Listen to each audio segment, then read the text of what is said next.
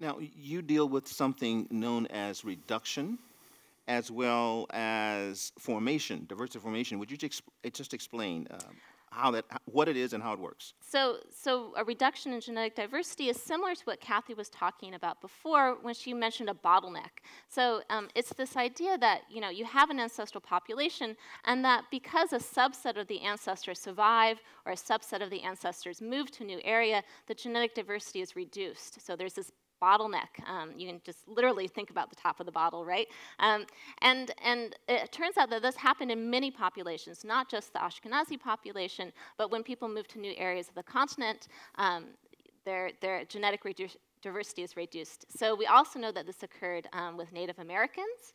So if you think back about the uh, relatively uh, recent history of Native Americans, which to me is about 15,000 years ago, um, a subset of individuals migrated across the Bering Strait and into North America and South America, um, but very, very few ancestors were actually um, involved in this process. So there was, a, there was a reduction in genetic diversity or a population bottleneck when they moved from Siberia into the Americas.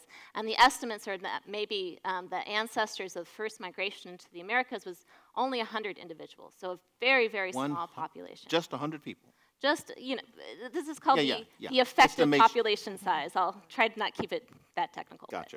Well, let's talk about um, a little bit more about reduction. Um, in dealing with the recent cover story of the New York Times hmm. uh, uh, here in the Americas. Now, for those who didn't see the article, scientists recently analyzed the DNA and the skull of a prehistoric teen girl. The skull was discovered in an underwater cave in Mexico. Uh, this tells us something about how America, the Americas were populated before the European colonies. But explain the science here. So the idea is that they're going to they're going to take um, the skull from this individual who has been very well preserved, and they extract some small amount of DNA from it. And the DNA that you use to trace your genealogies, um, so you, you, know your mother um, uh, gives you DNA, right? You have your mother's DNA, so that you can do the same sort of tracing, just very very far back in time. And this individual, if you look at, for example, their maternal DNA, you can actually trace it among other Native American populations, and eventually even Asian populations. You can sort of connect all these different lines, which allows you to understand where people have common ancestors. And the Native Americans, um, as this study is an example of, have a common ancestor with populations in northern Asia. So it's very clear that their ancestors, or many of their ancestors, came from northern Asia and moved into the Americas and eventually were very successful and colonized the entire um, American continent. And the water helped preserve, because we were talking earlier about there not being much DNA in hair strands, but this thousands of years old. How?